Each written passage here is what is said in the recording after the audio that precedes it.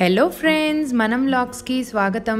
నిన్న మసాలా పూరి చూసాం కదా ఇవాళ లాస్ట్ సిరీస్ అండి.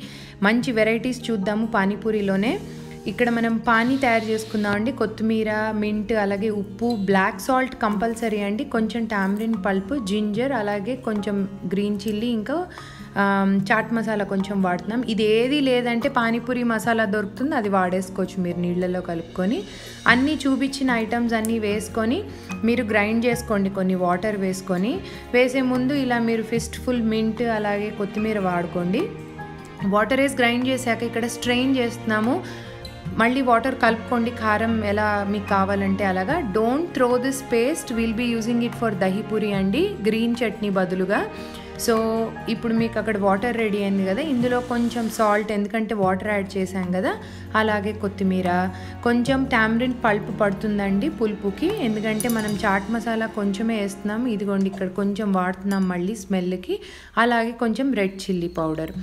Then sweet chutney చూద్దాం. ఇది నేను ఆల్రెడీ ప్రీ ప్లాన్ పేస్ట్లలో మీకు ఈ చట్నీ టెన్ మినిట్స్ చట్నీ చూపించేసాను ఎలా చేయాలో ప్లీజ్ చెక్ దట్ వీడియో. ఇలా మనం ఒక త్రీ టు ఫోర్ స్పూన్స్ తీసుకొని అందులో వాటర్ యాడ్ చేయడం అంతేనండి.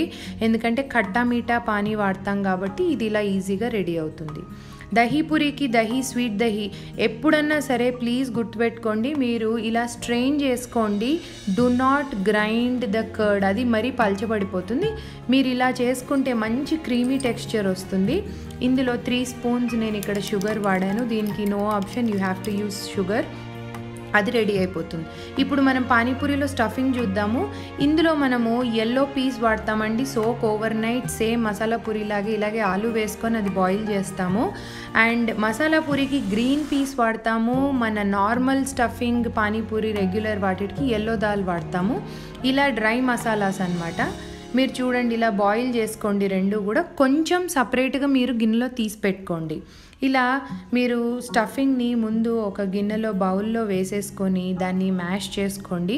అందులోకి ఇప్పుడు మనం రోస్టెడ్ క్యూమన్ అంటే వేయించిన జీలకర్ర పొడి అలాగే బ్లాక్ సాల్ట్ మస్ట్ అండి. దీనికి చాట్ మసాలా కొంచెము అలాగే ధనియాల పొడి అంటే మీరు క్వాంటిటీస్ మీరు చూసుకోవచ్చు. ఇక్కడ కారం ఉప్పు అలాగే ఆమ్చూర్ పొడి పులుపుదనం గురించి అండి.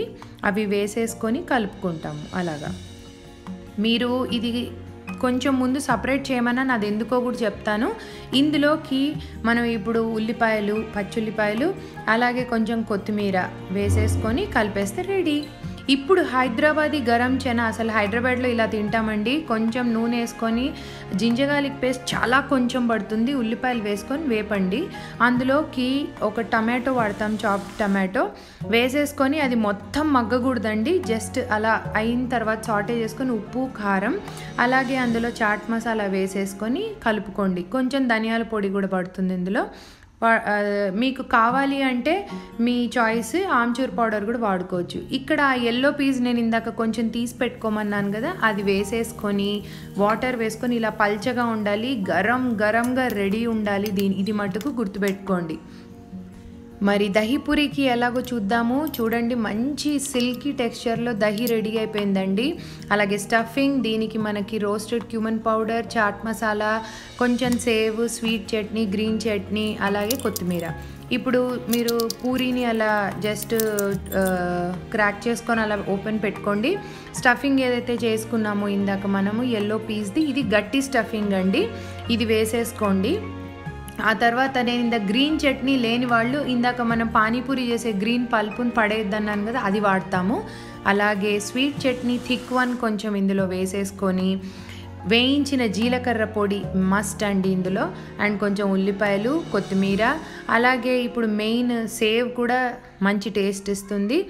మెయిన్ దహీ కదా ఇందులో దహీ వేసుకోండి. అది మీ ఇష్టం అండి ఎంత వాడుకుంటారో. కొంచెం పైనుంచి మళ్ళీ సేవ్ అలాగే చాట్ మసాలా జీరా పొడి వేసుకొని ఆహా ఏమి రుచి అనక మానరు. ఇప్పుడు మీరు పానీపూరి కట్టా మీఠా ఎలా సర్వ్ చేస్తారో చూద్దాము. ఎక్కువగా north Indians preferably khatta meetha తింటారు. మీరు ఇప్పుడు ఇక్కడ చూస్తే సేమ్ స్టఫింగ్ మనం వాడుతున్నాము. అండ్ ఖట్టా అండ్ మీఠా అన్నాం కాబట్టి మీఠా పానీ అంటే ఇందాక చేసుకున్నాం కదా మనము. ఆ పానీ మనం డిప్ చేస్తాం కొంచెం ఆనియన్స్ వేసుకున్నాం చూడండి.